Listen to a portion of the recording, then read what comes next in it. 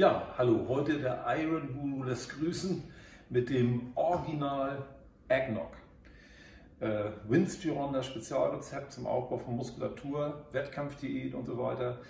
Äh, dieser Eggnog hat es in sich. Also massive Wachstumsfaktoren, riesige Menge Protein äh, im Rahmen einer Low-Carb-Ernährung, äh, eigentlich Steak and Egg genannt. Äh, bei der Herstellung des Eggnuts werden aber allerdings eklatante Fehler gemacht. Da möchte ich darauf hinweisen. Äh, das rohe Ei ist natürlich etwas, was äh, Vorsicht, mit Vorsicht zu behandeln ist. Wir müssen in jedem Fall mehrere Prozesse durchlaufen, um das vernünftig und richtig zu machen. In einigen Beschreibungen im Internet wird das völlig vernachlässigt, was natürlich ein Problem ist.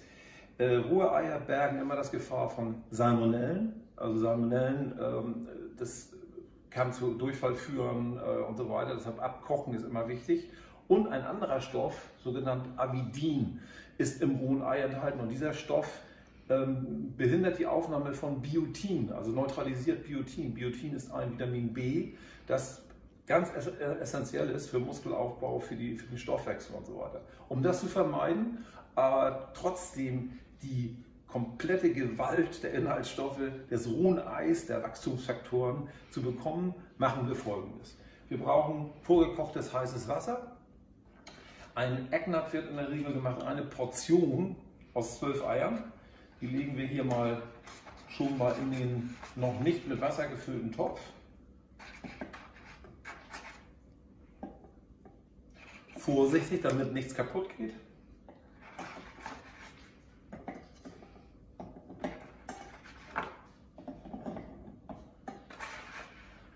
So, da haben wir die zwölf Eier.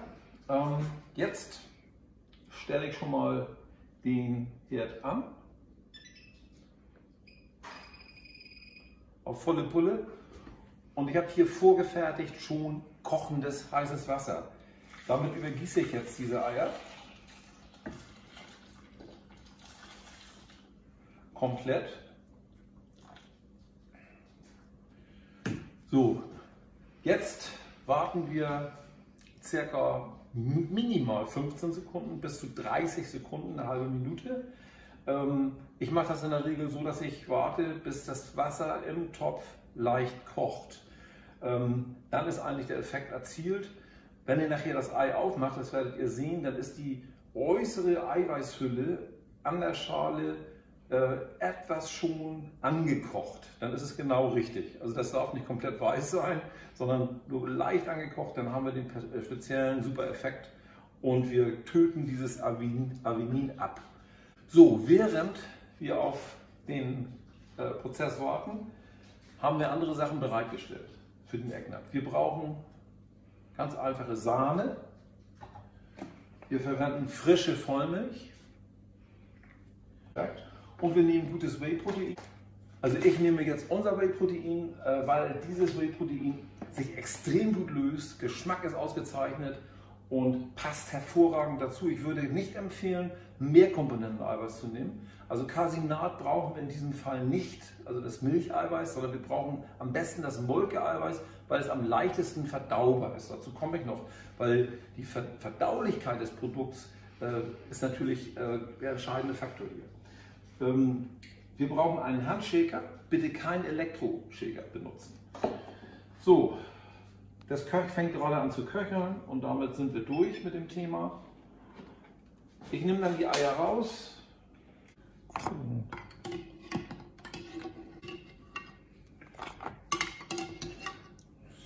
So, wir haben die Eier aus dem kochenden Wasser rausgenommen. Jetzt schlagen wir, ich mache das, ich teile das mal in zwei Portionen. Und wenn ihr jetzt mal schauen wollt, so wenn ihr jetzt hier mal schaut, dann könnt ihr sehen, da ist noch Eiklar drin. Das ist so leicht ähm, schon gekocht. Das nehmen wir alles mit. So, sechs Eier.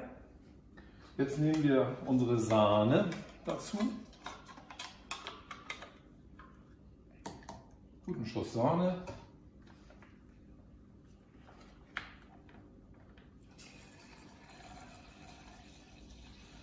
So circa 200 Milliliter, so genau kommt das nicht drauf an. Also je dicker ihr das wollt. So. Dann Zimt, das mache ich auch sehr großzügig, also bestimmt einen Teelöffel, halben Teelöffel. Und einen gut gehäuften Portionslöffel, das sind ungefähr 30, gute 30 Gramm Eiweiß. So, dann das Ganze gut zudrehen. So. Das wäre dann die erste Hälfte.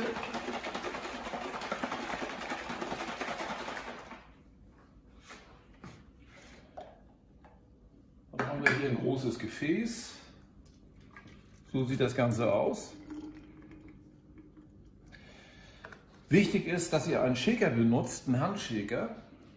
Wenn ihr einen Elektroshaker benutzt, dann bitte immer nur ganz leicht an- und ausstellen. Und wenn ihr Eier permanent durchlaufen lasst in einem Elektroshaker, dann wird die Struktur des, des Eis zerstört. Ja? Und ähm, das ist zumindest der Hinweis, den Vinci Ronda gibt.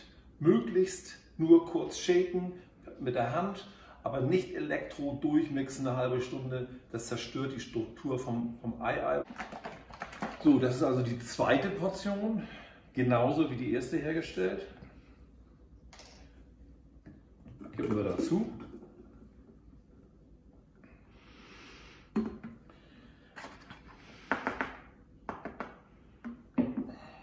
Jetzt rühre ich den ganzen Kram nochmal um. So, das ist unser Eggnut mit zwölf Eiern. Und ganz wichtig jetzt, nicht jetzt trinken, sondern bitte erstmal kalt stellen. Deck das nochmal ab mit Folie. Ihr könnt auch Frischhaltefolie nehmen. Dann kommt das Ganze in den Kühlschrank.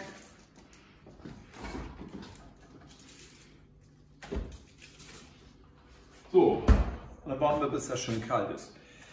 Und dann können wir äh, den Eggnut trinken. Dann gibt es neben dem Abkochen ähm, und neben dem, der Art des Shakens noch einen ganz wichtigen Faktor. Wenn ihr dann diesen Eggnut zu euch nehmt, ist relativ dick breiig. Das könnt ihr natürlich variieren mit der Milch, mit dem Anteil an Milch. Also die Amerikaner nehmen Half and Half, Half Cream und Half, Half Milk. Ähm, dann bitte Schluck für Schluck, wirklich zerkauen, langsam schlucken. Das größte Problem bei dem Eggnut, der hundertprozentig wirkt und funktioniert und einmalig ist für Muskelaufbau, bietet natürliches Testosteron, Wachstumsfaktoren ohne Ende, ist eigentlich die Verdauung.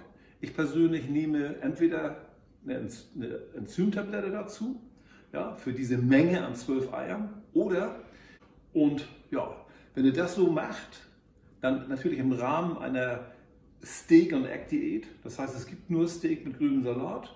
Dann gibt es den Eggnut, bis zu 36 Eiern am Tag. Das waren jetzt 12. Also mich macht das satt den ganzen Tag. Ähm, also bis zu 36 Eiern am Tag. Massiv Protein, das geht bis zu 300 Gramm hoch dann. Äh, und natürlich die Fette. Die Fette übrigens, ich habe das auch beschrieben auf unserer Homepage ähm, in Bezug auf Cholesterin. Der Cholesterinwert ja, im positiven Teil, das positive Cholesterin steigt an. Und damit verdaut ihr besser Fett und befreit auch die Arterien von Ablagerungen. Also eine Low Carb Ernährung in dieser Form, eine sehr fette Low Carb Ernährung, dient auch dem Abbau von Cholesterin in den Adern. Heute weiß man das. Vinci Ronda hat das schon in den 50er Jahren proklamiert. Und äh, danach hat man immer gesagt, oh, man muss Margarine essen und äh, bloß keine tierischen Fette und so weiter und so fort.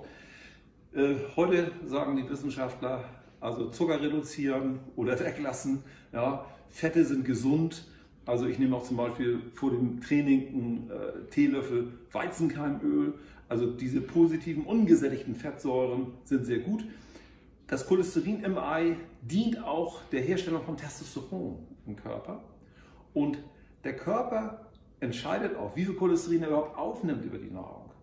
Also ähm, da könnt ihr gerne nachschauen, da gibt es diverse Studien zu. äh, das ist eine alte Mehr und das ist ein altes Märchen, dass eine hohe Aufnahme von Cholesterin aus der Nahrung gleichzeitig zu einem hohen negativen LDH-Wert führt. Das ist also nicht der Fall. Ganz im Gegenteil. Also äh, der Dr. Atkins, da gibt es diese Atkins-Diät, diese Low-Carb-Ernährung, hat damals ähm, seine Low-Carb-Ernährung, also Verzicht auf Kohlenhydrate, verbunden, das war eigentlich ein Herzspezialist, für, die, für den Abbau von Cholesterin im, in den Adern. Ja? Also wirklich zum Schutz des Herzens. Also ihr könnt gerne natürlich euch anders ernähren, also für Veganer ist das nichts, ganz klar. Ne?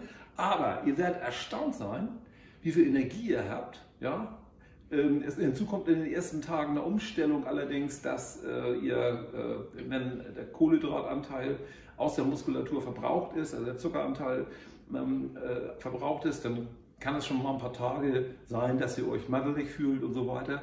Das vergeht aber, der Körper stellt sich um. Dann kommt hinzu ein ganz wichtiger Faktor bei dieser Art der Ernährung, ähm, der Steak- und Egg-Diät, ist, dass ihr alle 72 Stunden eine äh, reine, große Kohlenhydratmahlzeit zu euch nimmt. Ich esse zum Beispiel dann Spaghetti mit Tomatensauce, einem riesigen Berg, gut gewürzt, alles prima und funktioniert einwandfrei. Ja? Der Witz ist, ich habe diverse Leute auch so trainiert, ihr baut wirklich Fett ab und gleichzeitig Muskeln auf. Das ist also so gut wie mit keinem anderen Lebensmittel oder mit natürlichen Lebensmitteln möglich. Nicht mal, fast nicht mal möglich mit, mit Steroiden. Also selbst das ist schon schwierig. Ja? Äh, das heißt, sowohl der anabole Teil wird gefördert, der Aufbau von Muskulatur, aber auch der Abbau von Fetten im Körper.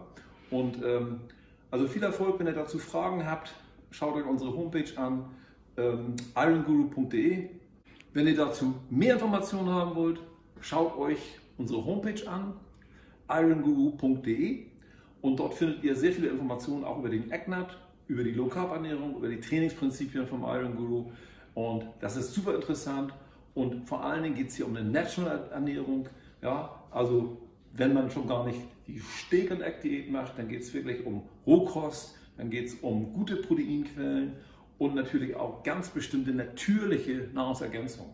Keine Chemie, rein natural. Und die Bodybuilder, die das damals praktiziert haben, die Bilder sprechen für sich, ja, sind nicht diese aufgeblähten Monster, die sehen fantastisch aus. Schaut euch das mal an, euer Wolfgang. Ich habe noch was vergessen, was wichtig ist. Äh, dazu gibt es eine kleine Anekdote. Wenn ihr fertig seid mit eurem Drink, mit eurem Eggnog, diesen bitte dann verschließen und kühl stellen. Und dann wirklich ein, zwei Stunden warten, bevor ihr ihn trinkt. Ich war 1977 im Gold's Gym und im äh, äh, Vince Gym und äh, dort traf ich auf die Barbarians. Ich, da gibt es mal ein Foto. Äh, die haben auch nachher Filme gemacht. Die waren am Anfang ihrer Karriere, um es kurz zu machen. Wir haben uns angefreundet. Ich habe mit denen zusammen trainiert, waren stark die Typen ganz witzige Typen und äh, die haben extra ihr Medizinstudium in Washington abgebrochen, um Bodybuilding-Karriere zu machen. Äh, die haben mich dann eingeladen in ihr Apartment dort in Venice äh, äh Beach, ja, und äh, ich habe dieses Apartment gesehen und da war nichts im Apartment. Da war eine Matratze, da haben die geschlafen, ein Tisch, ein Stuhl und ein Kühlschrank. Und dann haben die den Kühlschrank aufgemacht und der ganze Kühlschrank war voll mit Eiern. Und dieser Half-and-Half-Geschichte. Und sie natürlich gefragt, was ist das denn? Ja, sagt, sagte äh, äh, Paul, äh, einer von den beiden, wir trinken jeden Tag den Eggnog. Und zwar 36 Eier jeden Tag. So wie ich ihn eben gezeigt habe. Und äh, die waren wirklich clean zu der Zeit und sahen riesig aus. Es gibt da Fotos. Ja? Also wir waren wirklich privat. Wir haben wirklich gesagt, wir, wir bauen uns hier auf mit dem vom Vinci Ronda, mit diesem Eggnog. Und das ist die kleine Anekdote. Und meine Kumpels, die konnten das nicht erwarten. Wir sind in unser Apartment, haben diesen Ecknat fertig gemacht und ähm, dann war der noch warm. Die Eier waren noch warm. Und im Shaker und so weiter. Und dann hat der Erste getrunken und hat sich was übergeben. Warm könnt ihr das Zeug einfach nicht trinken. Kalt schmeckt es wie Eiscreme. Ja, also bitte kalt stellen und dann habt ihr wirklich auch den Effekt. Und das ist wirklich perfekt oldschool und es ist wirklich wirksam. Es funktioniert. Also der hohe, macht euch keine Sorgen über den hohen Anteil an Fetten, ganz im Gegenteil, die geben euch massig Energie und es wirkt wirklich, es funktioniert wirklich. Ja? Euer Wolfgang,